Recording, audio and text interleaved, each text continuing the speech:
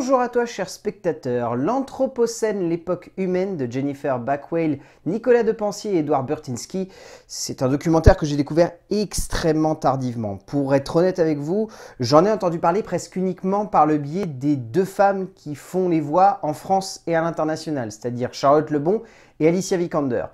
Parce que sinon, je n'avais pas entendu parler de ce film. Mine de rien, il a quand même fait un joli petit tour des festoches. Il est notamment passé par Toronto, par Sundance, puis par la Berlinale. Et c'est ainsi qu'il s'échoue dans les salles françaises, avec ni plus ni moins que même pas 10 cinémas qui le passent. Ce qui est quand même extrêmement triste au vu du sujet que veut évoquer le documentaire. Le résumé pour faire simple, avant, nous étions dans l'ère de l'Holocène, l'ère où l'homme n'avait pas encore l'impact qu'il a aujourd'hui sur la planète Terre. Aujourd'hui, nous avons plus d'impact sur la planète que tous les événements naturels qui l'ont forgé. Nous sommes entrés dans l'ère de l'Anthropocène. C'est un documentaire très particulier. C'est un film qui choisit d'avoir une esthétique extrêmement léchée pour essayer de mettre le plus possible en relief le fait que ce qui détériore la planète n'est pas forcément vu comme quelque chose de moche. Mais la gravité des actions qui en découlent laisse forcément penser que c'est le cas. C'est un documentaire mis en scène par trois auteurs qui ont envie avant tout de faire en sorte que le spectateur se pose beaucoup de questions.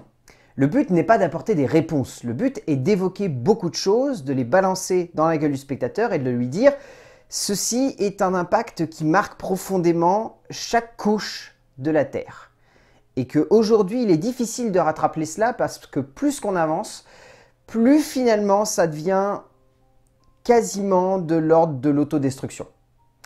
C'est un film très pessimiste, c'est un film très noir, c'est un film qui ne cherche pas à apporter des solutions parce que ça n'est pas le but. Le but de ce documentaire, et ça se voit dès le début, c'est que Backwell, Depensier et Burtinsky ont avant tout envie de nous montrer ce qui pose problème.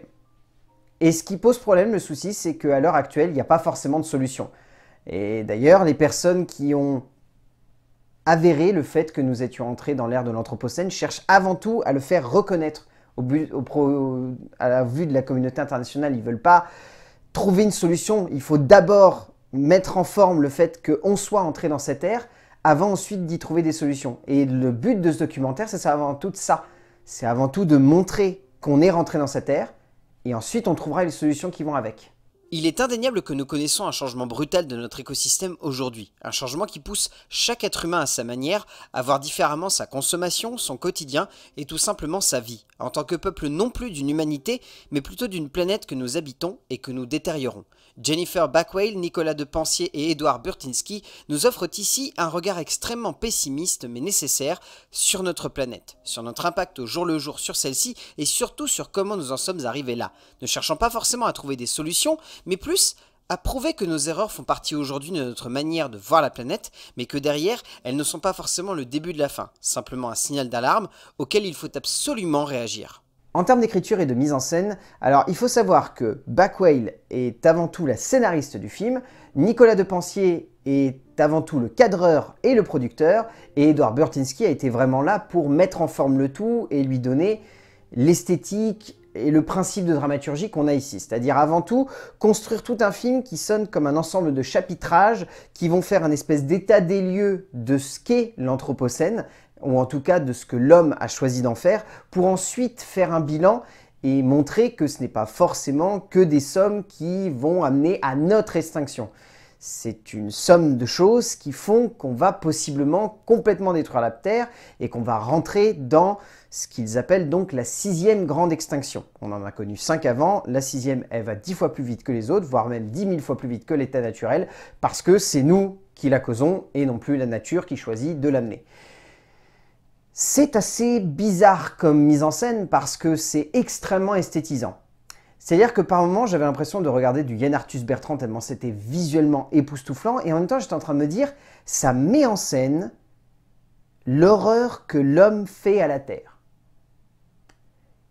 Et en même temps, je trouve ça fort parce que du coup, ça crée des images qui sont impactantes sur le spectateur, autant je peux facilement remettre en cause cela en imaginant que c'est une mise en scène qui se met au service de l'horreur.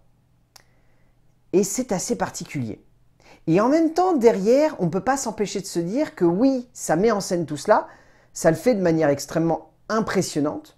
Genre, il y a cette espèce de grande pelleteuse qui fait 12 000 tonnes et qui fait je sais pas quelle taille, ou littéralement un homme, ça a cette taille-là à côté, l'image est belle, elle est puissante. Je me dis que derrière, elle sert à mettre en relief quelque chose qui détériore complètement la Terre. Donc du coup, c'est beau, certes, mais ça pose plein de questions. Et on se pose constamment cette question. Mais derrière, on ne peut pas s'empêcher de dire qu'au moins ça sert bien le propos. Qu'au moins, il y a une ambition très particulière, mais qu'elle a au moins l'intérêt de mettre en relief des questionnements qui sont essentiels à l'évolution du récit. Et qui fait que nous, en tant que spectateurs, on s'implique là-dedans, malgré le fait que on soit dans une esthétisation de l'horreur. Au gré des images, au gré d'une voix off poignante, on remarque bien évidemment ces maladresses qui forgent l'œuvre et qui incitent le spectateur à se poser des questions, mais également à chercher à comprendre pourquoi le monde que nous connaissons aujourd'hui est finalement la somme d'un passé qui continue de laisser des traces. Les trois auteurs ne cherchent pas simplement à créer chez le spectateur un sentiment de culpabilité qui prend place dès les premières minutes, mais cherchent plus radicalement à construire une forme et un fond qui veulent absolument amener le spectateur à remettre en question simplement ce qu'il sait de la terre. Celle-ci n'est pas forcément et simplement un délicat foyer bien accueillant, mais plus une maison dans laquelle nous avons élu domicile et qu'il faut absolument chérir avant de ne pas pouvoir rendre le bail sans en payer les conséquences funestes et irréparables qui nous empêcheraient de rester. En termes de casting, ça va aller extrêmement vite. La voix de Charlotte Lebon en version française est beaucoup plus suave, beaucoup plus délicate. Je trouve que la voix d'Alicia Vikander fonctionne mieux en version originale parce que elle a l'avantage, en un sens, d'être plus brutale et presque d'être plus froide. Ce qui étrangement fonctionne bien parce que mine de rien, la voix off a tendance à être assez lourde, à ramener des éléments qui ont tendance à bien plomber le récit, à amener beaucoup d'impact sur le spectateur. Et la voix d'Alicia Vikander, par cette froideur, fonctionne mieux que la voix de Charlotte Lebon qui a tendance à être un petit peu trop délicate. Et du coup, ça fait pas ressortir la brutalité de ce qui est dit finalement. Alicia Vikander porte avec beaucoup de délicatesse le message de ce film par une voix off certes parfois un peu pompeuse, mais surtout juste par le biais de ses propos et de sa manière de les mettre en forme. Au bout du compte, L'Anthropocène, l'époque humaine est un documentaire que je vous conseille pour le propos qu'il dégage, pour la force d'impact avec laquelle c'est amené, mais avec lequel il faut prendre vraiment des pincettes parce que je pense qu'il y en a beaucoup qui vont être très réfractaires à la démarche parce que justement c'est très esthétique.